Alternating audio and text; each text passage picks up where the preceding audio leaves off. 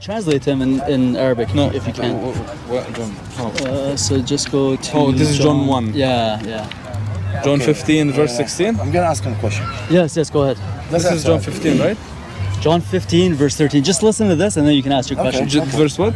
Verse 13. 15. Uh, so that's 19. No, no, no, you're there. Oh, here, oh, here, they are small. 13. Verse 13. 6, 9, 11. Greater love has no listen, one. listen to this I listen. Greater love has no one than this that someone lay down his life for his friends.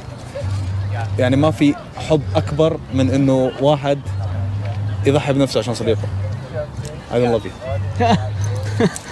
So, Jesus says, So the greatest love is uh, like Yeah, if you exactly. sacrifice for. there's no greater love than for someone to die for you. So Jesus is like is the greatest, the greatest basically because he died for the humanity. That's it. That's it. That's good. That's nice. He, But he had a question though. to آه، ask you. شو كان سؤالك؟ Choose Simple, uh, someone. simple question. Oh, he he he is looking at the moment. No, no, no, no, no. Okay. Just I was think about something else. هو simple question. آه، احكي هو. هو بقول لك هو بقول لك إنه جيسس ضحى بحياته عشان عشان خطايانا. طيب أنا هاي أنا هاي يعني يقول أنا هاي أول مرة أسمعها أنا كثير واقف مع عالم بس إنه هاي اول So this is the first time he hears this. First time I hear like Jesus he died for like people or uh, Are you living in a cave, man? Yeah. So, go go home, read the You need to read this. Read the no, no, you need it as well. Okay, you can give him a copy. But but he, his English is not that good. I don't mind giving him the whole Bible.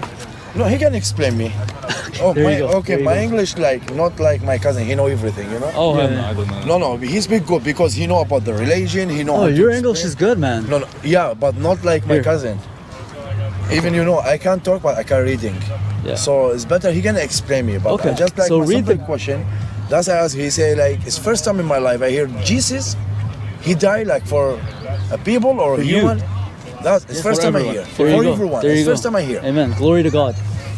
That's good. That's good. So read the Gospel of John, explain it to him, uh, so he understands it. You understand it, because I was there one time. I understood it, and by the grace of God, my whole life changed. Did you see his face? If you're a believer, I know that that impacted you on some level. To watch the realization of this message that this poor man has missed out on. And it, it, I guess on some level is surprising because as a believer, you feel like the gospel is just like out there in the world. Everybody's heard it you know, everybody knows about Jesus who died for their sins and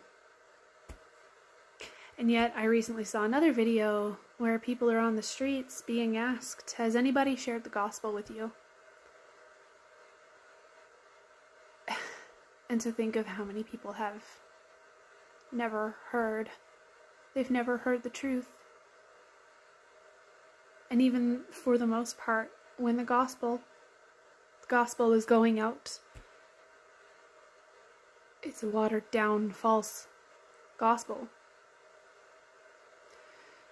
So if you are somebody who knows the truth,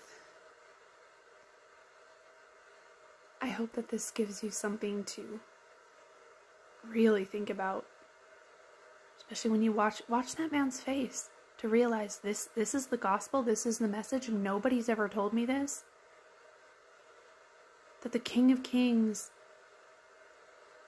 left his estate in the in the glory of the Father to come down here into this cesspool and suffer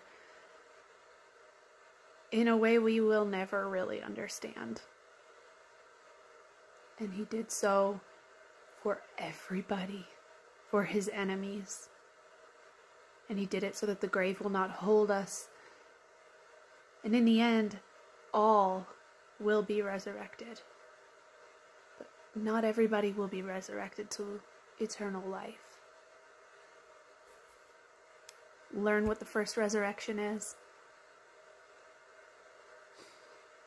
Learn what the truth of the gospel is. Because there is one narrow path. As the Lord Jesus said, you, there is no other way to enter into the sheepfold. And that entry is through death.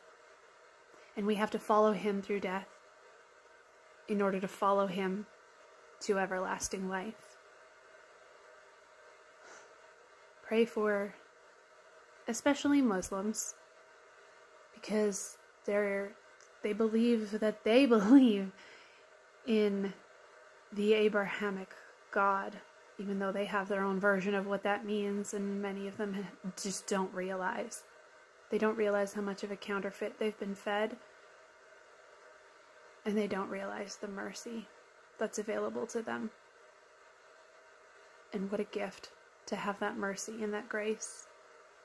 Mercy is when we don't receive something that we deserve. Grace is when we do deserve, or when we do receive something that we don't deserve. And that comes from Christ alone. He is the way, the truth, and the life. And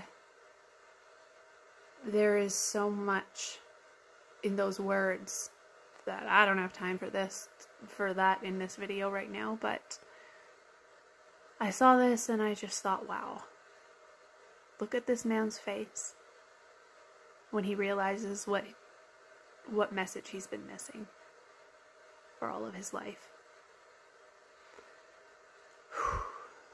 It's a big deal.